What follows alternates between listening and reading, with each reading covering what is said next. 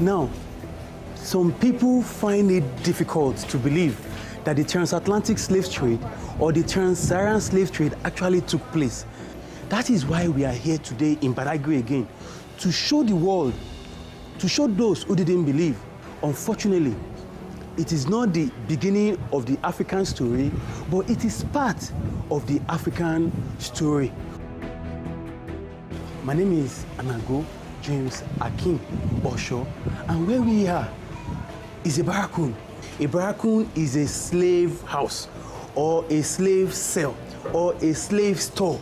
And in a room here, they kept 40 human beings in a room. And there are more than 40 rooms in this compound. Imagine how many human beings that died or perished in this compound.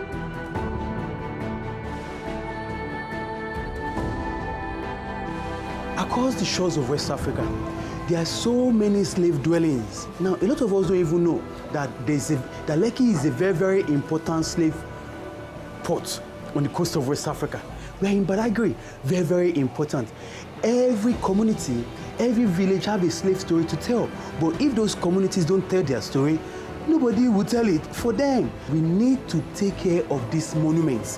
All the monuments we have, they are our past, they are our present, and they are our future. A lot of things took place, and we must document them because history is for us to learn from so that we don't continue to make the same old mistakes. When we talk about the transatlantic slave trade or we talk about the trans-Saharan slave trade, there are still traces of where our ancestors were kept. That is the essence of a barracoon. Where those slaves were kept, to me, are more important than the chains. Because where they are kept shows us, proof to us that the slave trade actually took place.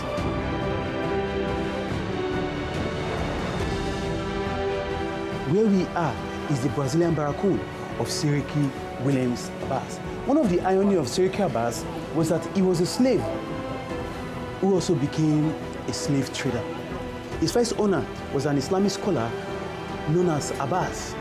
Abbas. So they call him Abbas.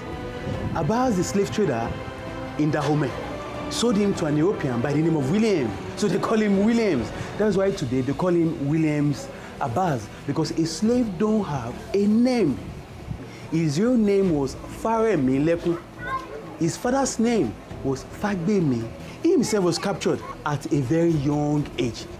So many black people came back from the diaspora and they changed their name from their slave name to their original name and some of them took on African names because they believe that those names were actually not their name and it's true. You see, that is another evidence that the transatlantic slave trade took place.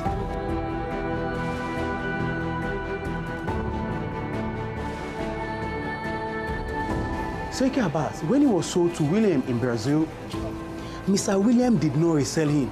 He noticed there was something unusual about him. Instead of reselling him, he took him to his, his house and made him a domestic slave.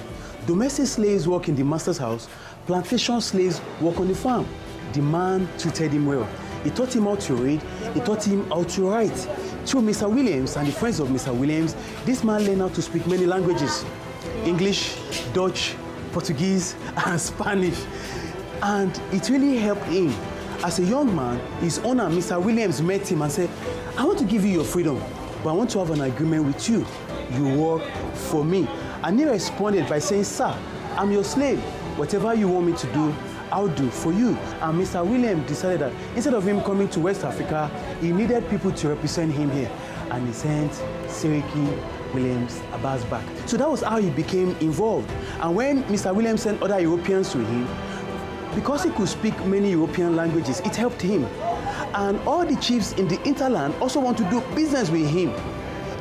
In the year 1895, eventually, this man called Seriki William Abbas was made the paramount ruler of Badagry. Now, he ruled this town from 1895 till his death in 1919.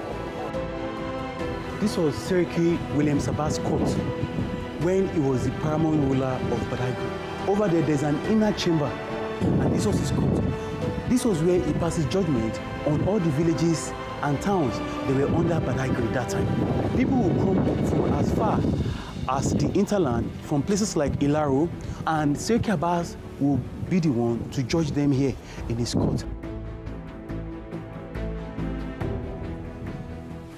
Now, this was where Seriki Williams Abbas, or Badagry, was buried.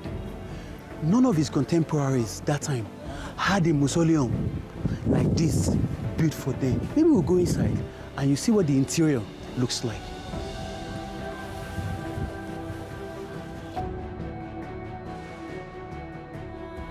We are in the mausoleum of Seriki Williams Abbas, where he was buried. And when you look around this mausoleum, look at the design.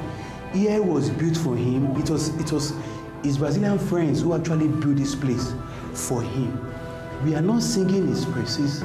History and the history of Seriki Abbas, I am using him as a point of contact to appreciate the gift of freedom because the transatlantic slave trade the Trans-Saharan slave trade actually took place.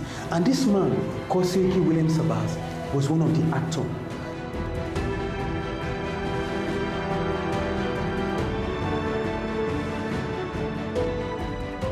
You're welcome into the barrack And this is a man called Seriki Williams Abbas. He became very, very vibrant. He became very, very important. How did he get the name Seriki? We know he got the name Williams and Abbas. In this town, when he got here, he dominated everywhere. How was he able to dominate? It was because he could read.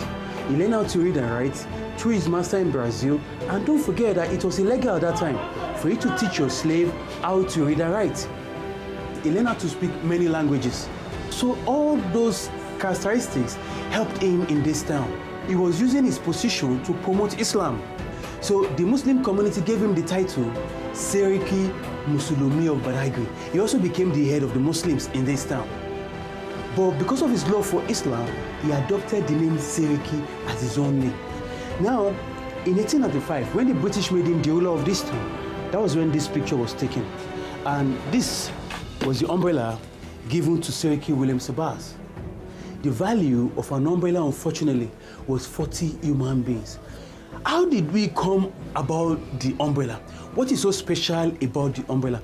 It was fashionable in medieval Europe to see ladies move around with umbrella.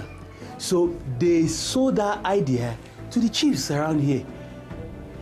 They tried to make them feel that they are more important than their people. So they need something to differentiate them from this, their subjects, from the people in the community. This umbrella was given to Seriki Williams Abbas in exchange for 40 human beings. Now, where we are standing, the first room in the balcony of Seriki Abbas was referred to as the inspection room.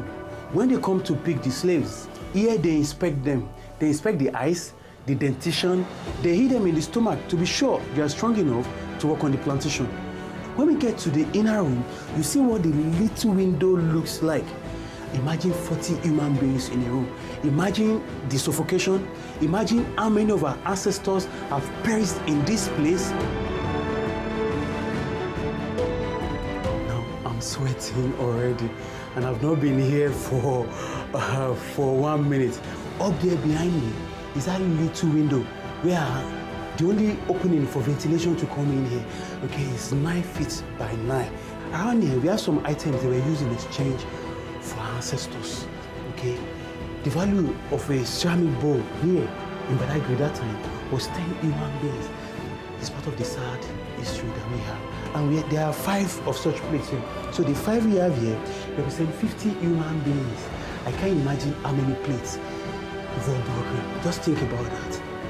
And some people don't know the Germans were also involved in the business. The Germans were involved, but to be sincere, they were among the first set of people who don't want to be associated with the business. But you see, two men were given to Seriki Williams Abbas by his German friends. His Brazilian friends presented him this. It's called the brass dish. And the value of a bottle of gin in Badagry was 10 human And this as some of Seriki Abbas' money. We actually dug this from this compound. The man was a big man. Okay, like we say in Lagos, he was a big man, affluent, wealthy, rich, and of course he got taste. Look at those gramophone records over there. Okay, he actually used these gramophone records This was the same cloth, the exact cloth Seriki Williams Abbas wore in 1895 when the British made him the paramount ruler of Badagry. These are remnants of his chariot. He was so prosperous that he has a chariot, you know, a horse pulling a wagon. Okay, so we could say that time he was the only one who owns a car in this town. Now, around here are some of the slaving instruments, and there's one here they were used for children. Now, children were also taken away. And people say, okay, those children, how were they given birth to in the barrack? No. Some of these women they were captured in the interland. Some of them were pregnant when they were captured, and they gave birth in the barrack. You know our mothers, being who they are, some of them have their children on their back when they were captured, maybe in the farm, on the farm. Our mothers won't let go of their children. So anywhere you take them to, they go with their children because children were also enslaved. They said when the Europeans came, the narrative was that we were selling each other. It is much more than that. I have a friend, he's of Jamaican origin, and some of them don't like Africans. They say we sold them.